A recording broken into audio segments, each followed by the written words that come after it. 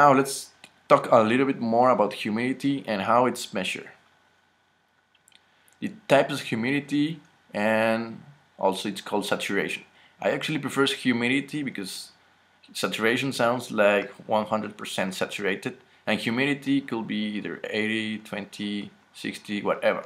But you know, each of these two guys are easy to understand. So we're going to see three types, which is relative, molal, and absolute. And of course, we're going to see some charts. You know, chemical engineering loves charts. And you probably don't like them, but you will like them when you work because a lot of data can be found in charts. We're talking about air and humidity at one pressure.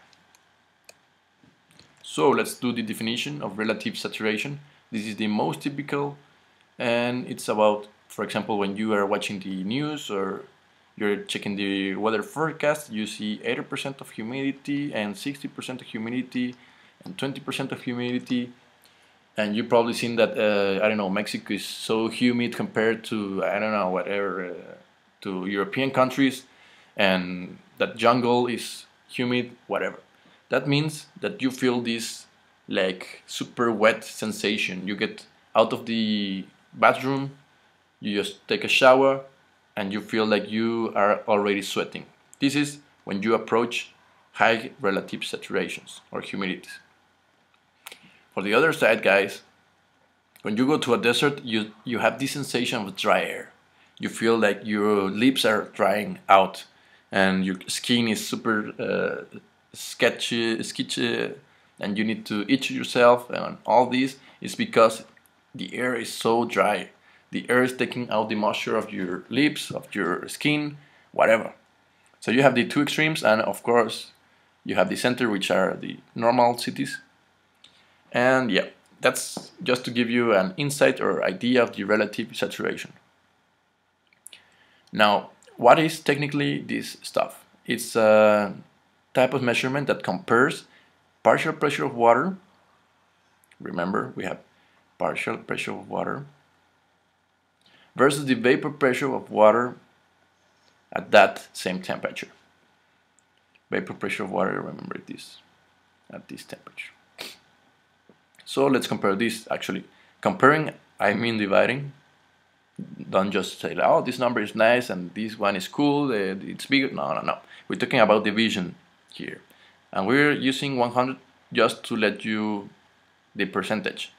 Because fraction, I don't know, it's not that uh, public friendly. If you say we have 0.5 of humidity, guys will be like, what the hell is that?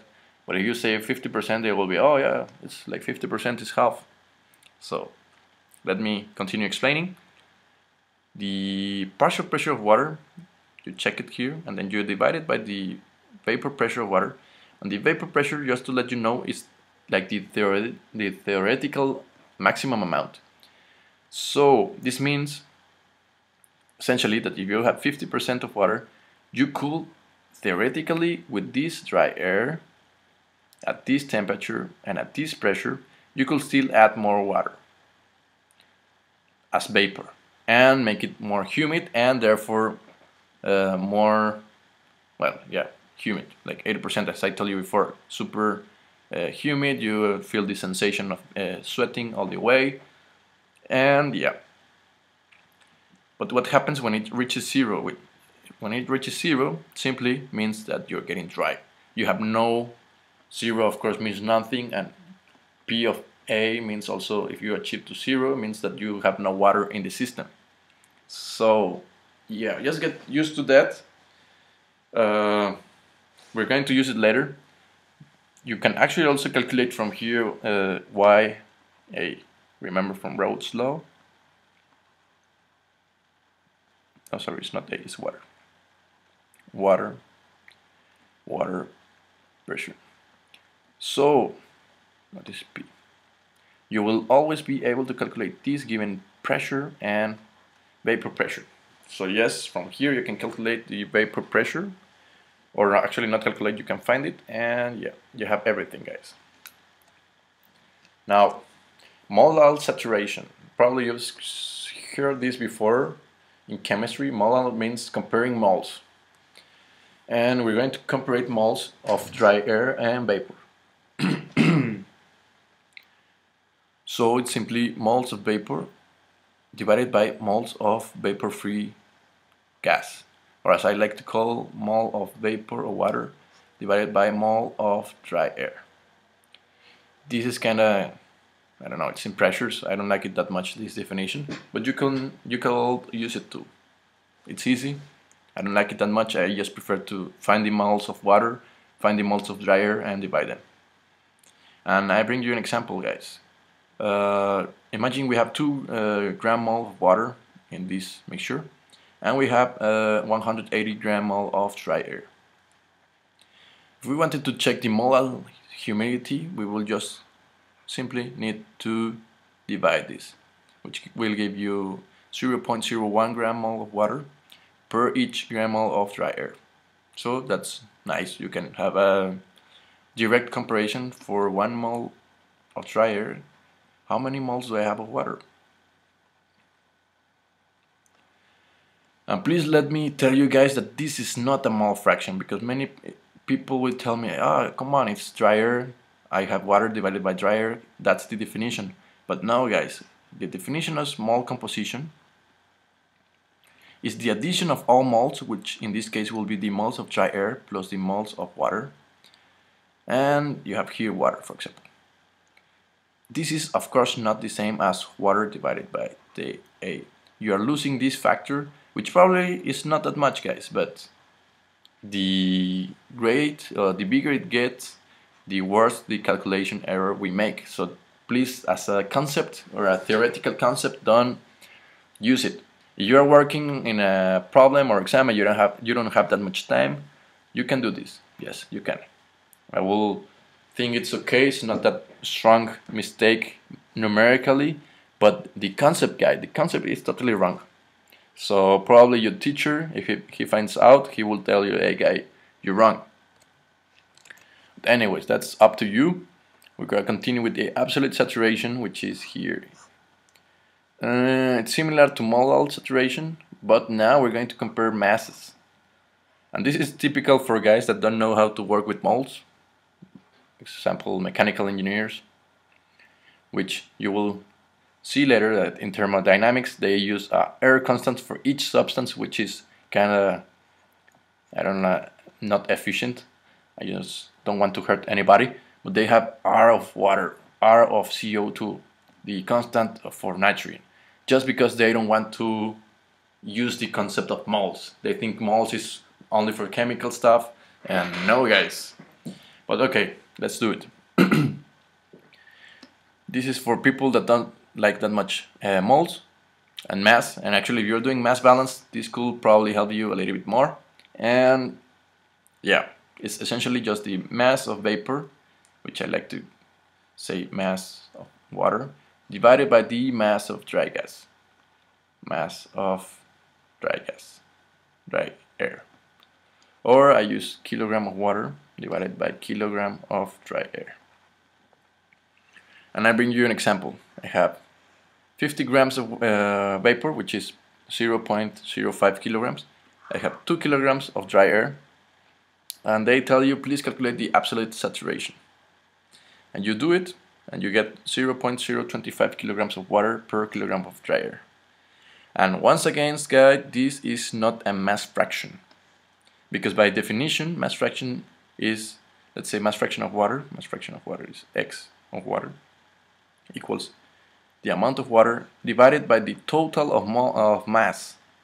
And the total of mass is not only water, it's water plus dry air, guys.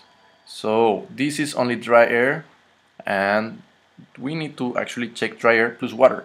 And as I said before, guys, don't worry, in the other problem, or oh, in the other section, this molal saturation, I told you about. It actually is not a huge error. Uh, errors will be around 5% or so. But the concept, guys, is the important thing here. And especially the more water you have in your system, the more you will have this error. So take care, and once again, it's up to you. So with all this data, the important thing here is to either you get partial pressure of vapor and you could get or calculate mole fraction of vapor mixture. which is this here. This is what we want for our mass balances. Now let's do a uh, saturation humidity exercise. We have air at these conditions and they are nice enough to give you the relative humidity. Now worries we have a equation for that guys so let's keep doing it. It's fed into process unit, they give you this volumetric flow and they ask you number one molar flow rates of water okay dry air and oxygen entering the process they ask you the molar humidity, absolute humidity, percentage humidity, and the dew point. Remember these guys, we're not going to do it. I did it, but we you don't need to calculate this for this class. So, we have this system, and the first thing I want to do is from tables or books or graphs, I check this data. 75, I have 289 millimeter, millimeters of mercury here. So that's good, I have it. Now, from the definition of relative humidity, we have the partial pressure of water divided by the vapor pressure of water at that temperature times 100. So we have 30, yes, we have 30. I pass dividing this 100 and I have this value which I got from books. So the only thing we have left is this. Now this, we calculate it, and we get this value. So that's nice because with this number here, which is P water, we can bring it here to this. Hopefully you know it guys, this definition. I'm just going to put it just in case. It's times P equals P water, sorry guys about that. And yeah guys, just go for Y here. Just pass this dividing and you get this. P water we just calculated. Total pressure is 1.1 bar, which is here. But the thing here is we need to change uh, units. We could either, either change millimeters of uh, mercury or bars.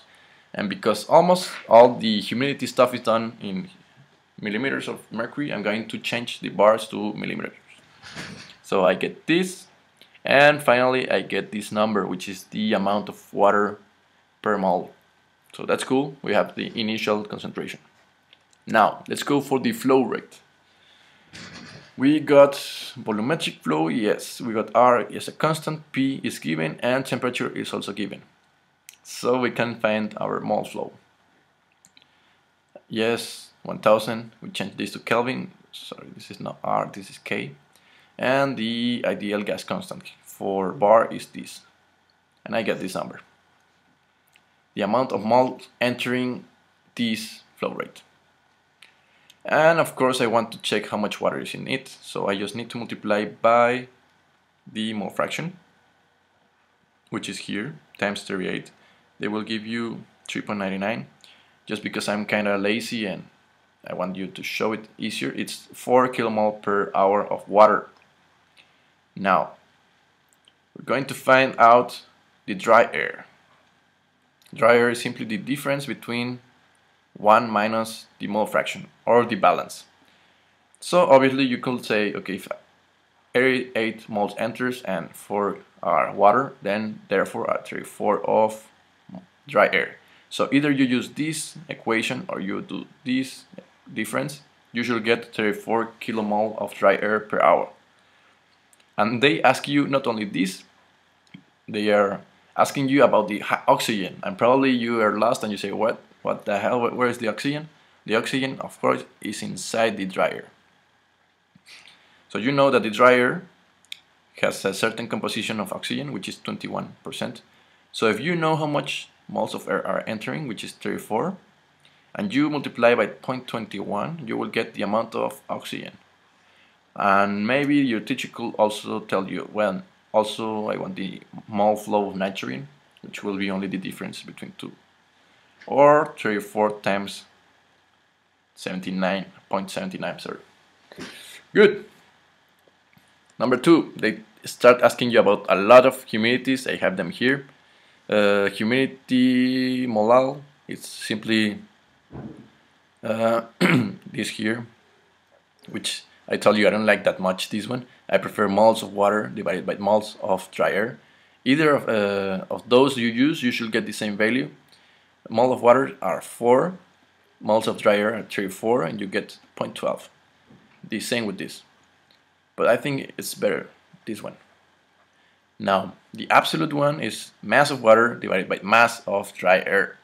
And it's the same, we know moles of water times molecular weight will give you mass of water. Now, moles of dry air times molecular weight of dry air will give you mass of dry air. So just doing the calculation 4 times 18 kilograms, which is the amount of kilograms per kilomole of water. And we have 34 kilomole of dry air and dry air weights can around 29 kilograms per kilomole you just do this, do this stuff and you get this number guys cool and this one I don't want to explain you how much or how do I do it it's just uh, humidity divided by the saturated humidity saturated humidity is this one and this value I get it from here so just doing that you get 21%. This type of humidity is just theoretical. I think it's a percent humidity.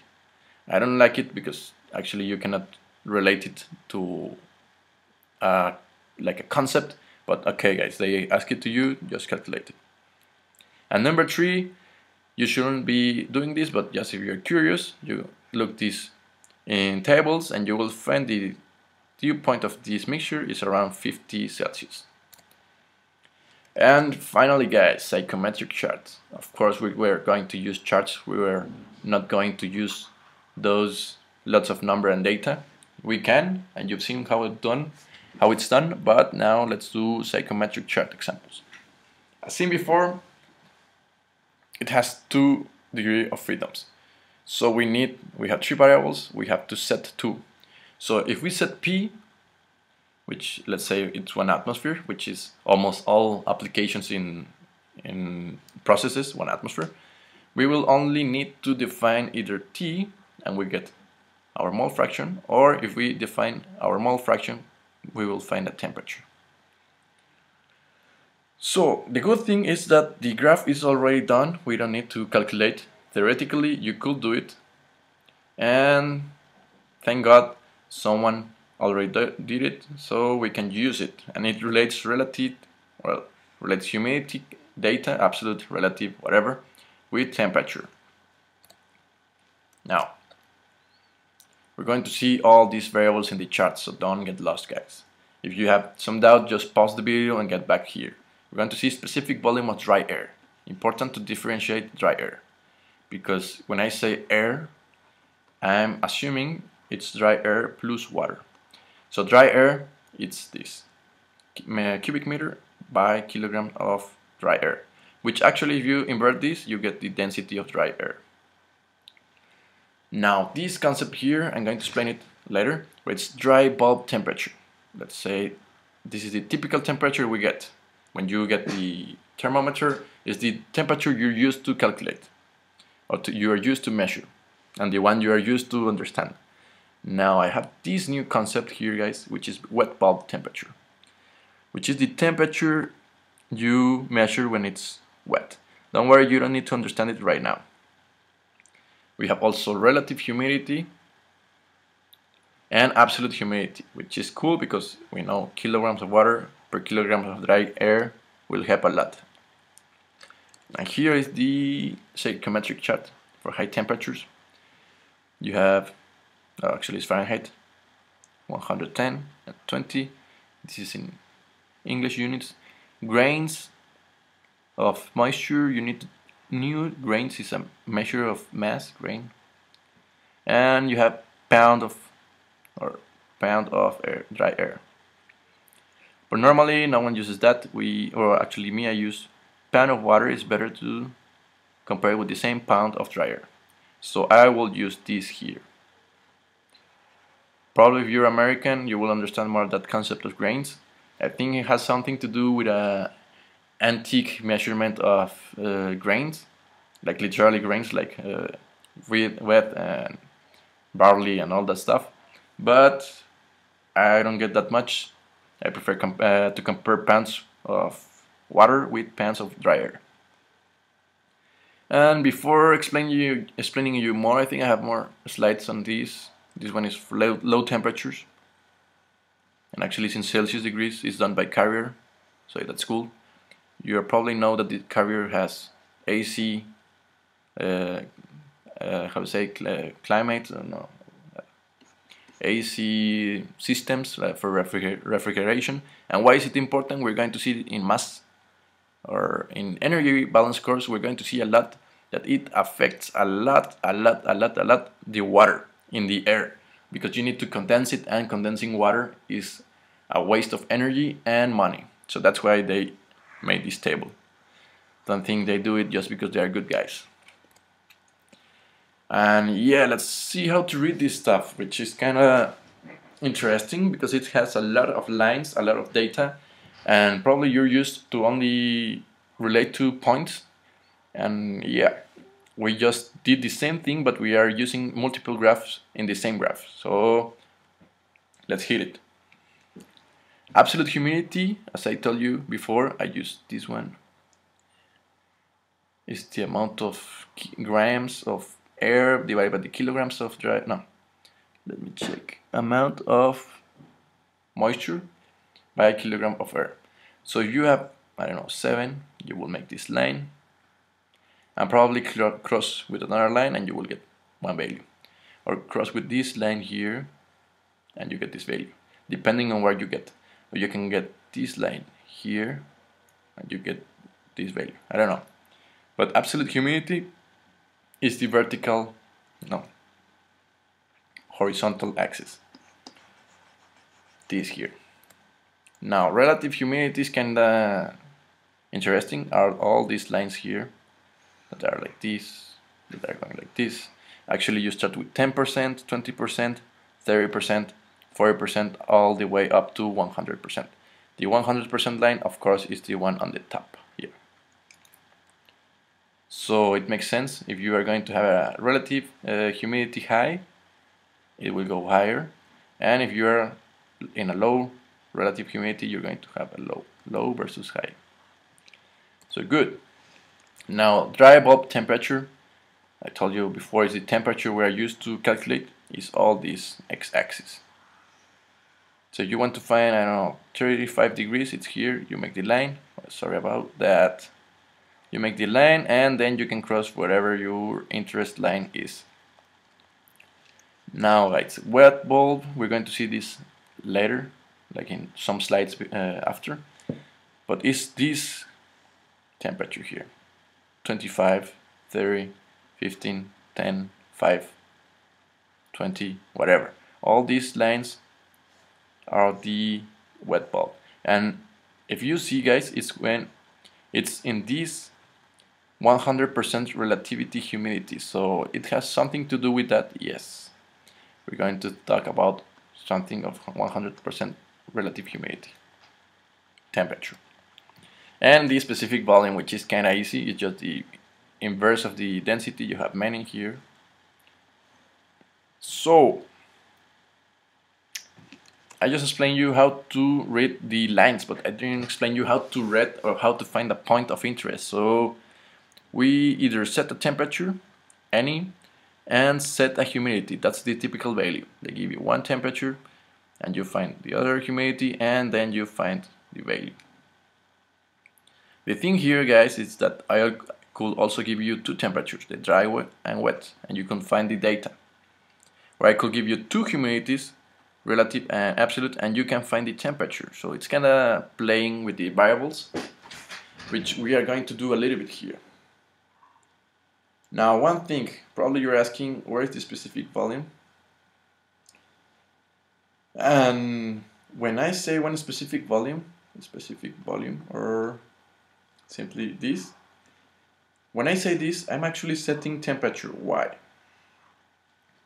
Because if we relate with the ideal gas, you know this is a function of temperature. And since is, the pressure is constant, it will not change. And the moles, we're analyzing the same uh, quantity of moles, we're not. So the thing here is that when we give a temperature, we already set our specific volume.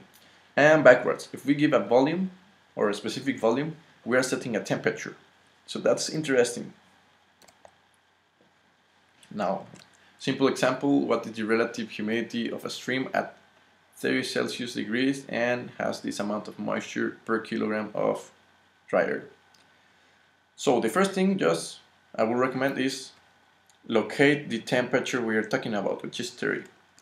And I, I think you don't see that much, but this is at 30. Because it's dry. They're telling you it's dry bulb. And if they don't tell you, just suppose it's dry. Now the second thing you will do is locate the amount of water we're looking for, which is 7. 7 grams of water per kilogram of dry air. And the final thing you want to do is to set a point, which is here. Let me, here's a point. So let's do a zoom. And I have this line here. Remember these lines are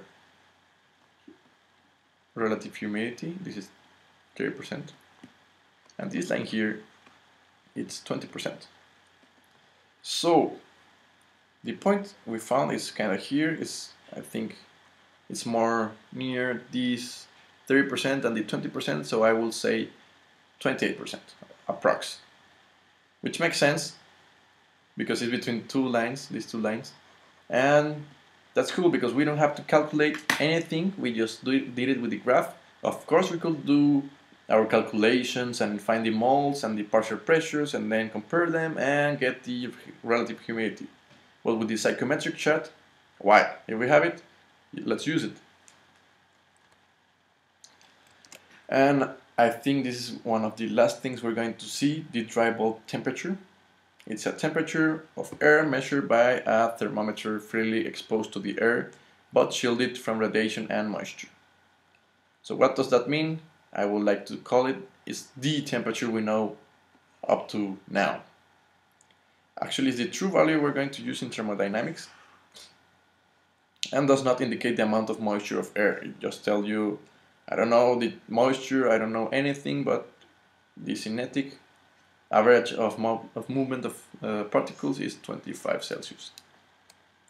Now the thing here in wet bulb that I want you to explain is how to understand it is temperature that air uh, that the air will have if there will be a cool saturation. So it will be like a theoretic temperature if the relative humidity will be 100%.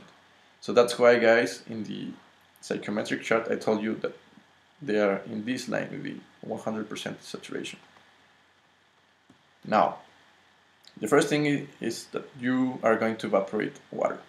What happens when you evaporate water? You take out energy of the system. And the system, what is? The thermometer. So if you take out energy of the system, probably you're going to lower the temperature.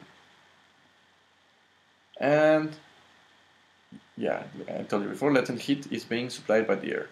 So air is taking and evaporating out. The lowest temperature that can be reached under current ambient, uh, current actual ambient conditions by the evaporation of water itself. Now, let me tell you, actual air temperature is dry and the amount of moisture is humidity. So probably you're kind of lost. Don't worry, you don't need to understand this right now. Just know where to find wet temperature. And remember that these lines are measured like this and also remember is the temperature it will have at 100 relative humidity. This is how they measure it.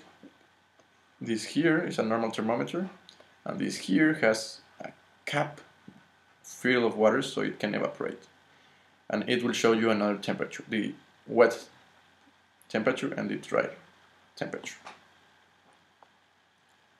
So yeah, I think we're done. Yeah, we're done from this uh, part of this section.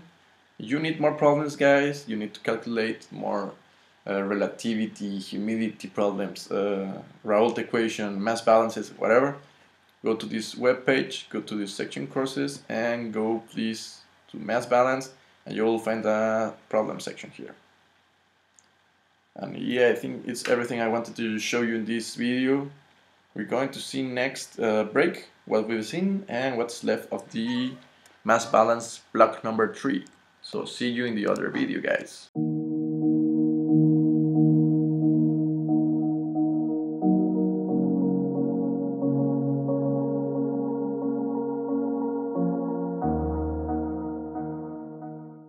What's up guys, it's me, Chemical Engineering Guy. So if you like the video, why not push the like button? It really helps me to know if you're liking the videos or if I should be changing something or I should be adding something, taking out content, whatever. Also, sharing is caring. So if you got any kind of friends, teachers, colleagues, or whatever kind of person that might be interested in this type of content, why not share it?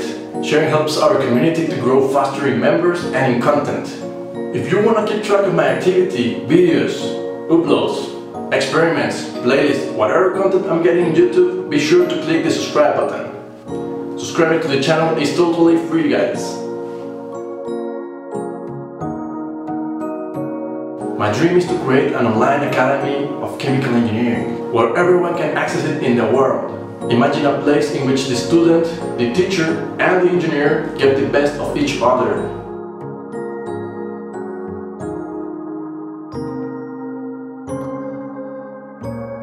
Thank you, thank you, thank you guys for the support and the love.